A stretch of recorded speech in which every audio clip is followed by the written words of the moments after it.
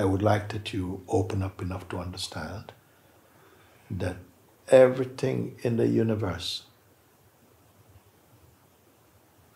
is like I gave an example. If you are, if you, an, a, a writer writes a book. I've said this example before. A writer has written a book, and it's got it's a great book.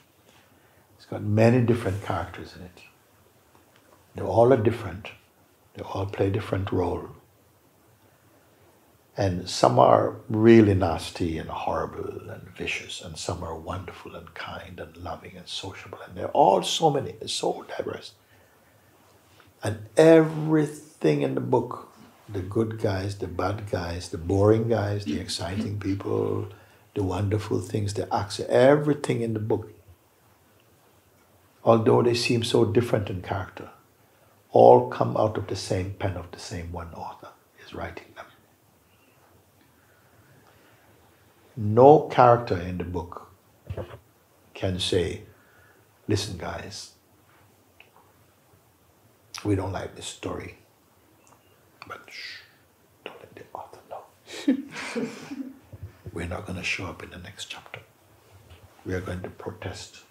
We want things to be different. Okay, if that's in the book, it's by the author's creativity. It's a way of looking, you know just to show that nothing, there's no one living, hiding from God. That's his, also his writing, he's writing this book.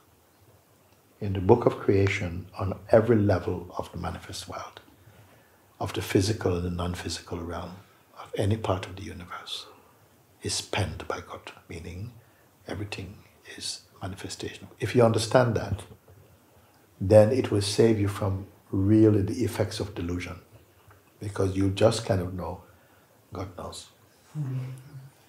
If you know that, then you will realize you can never really be lost. And when you realize you can never really be lost, your salvation is at hand. Uh, the highest knowledge, really, is uh, to see that uh, nothing exists in your world independent of your consciousness. You are the witness of everything that's arising. Even if you think it's happening over there to these people, it's still in your consciousness. It's appearing. If you realize that whatever manifests through the mind and the senses are phenomenal, meaning that they have no independent or lasting existence, they're only appearances they're only effects in consciousness, and the witness of them is apart from them, and that witness is yourself. That's not theoretical. It must become obvious. And when it becomes obvious, it's like these things will not entrap you. For a while, your life on, on its personal level of manifestation may still feel, oh, but why did this still happen and so on. But at some point, you're going to see everything that arises in you is witnessed in you. When you realize that the witness is not a person, the person is witnessed. And what is witnessing you, it cannot be said. You can say it's consciousness or whatever, but you come to see it must be me but not the personal me. You see? So the most important character is this which vibrates in the in the identity of I. You have to take the I beyond the limitations of a personal identity into like the um, uninvolved witness. And the uninvolved witness, you'll come to see that it's not an entity, it's like it's consciousness. I say this because consciousness is at the root. If everything is lost or everything is found, it does not make any difference to consciousness. It's pure consciousness. When you say I am, the real significance is consciousness or the sense of beingness. That's an intuition that doesn't belong, is not associated with anything. It's beyond the concepts of parents and friends and religion and last year and next year and heaven and hell and all of these things and Muslim and Hindu and Christian and all of these things. It has no, it has no, none of these things. It's beyond, it's pure, pure, unpolluted presence of God. One day you'll come to see that only God exists. There's no such thing as independent, separate persons. Only God exists. So, what does it mean? All these forms will disappear? No. The belief in their separateness will disappear.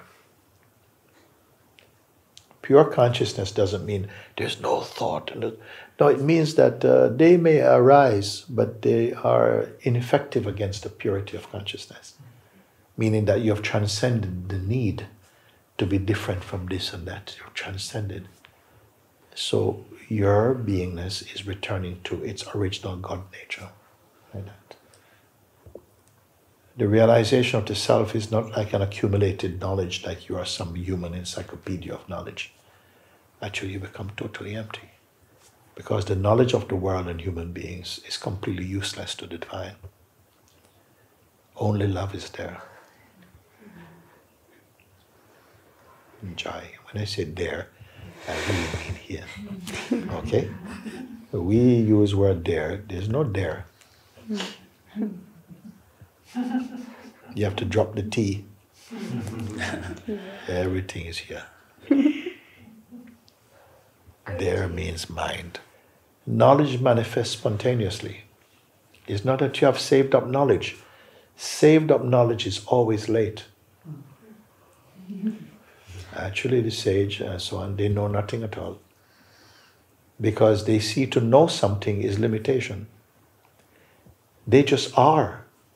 Like you just are. They're not interested in becoming. They're not even interested in being. It just is. But it is not appealing to the egoic mind. The egoic mind is a journey that has to happen, and it's also in God's book. He writes the book. The souls have to, there are all these individual souls. Individual souls don't exist actually. It's all in God's dream book.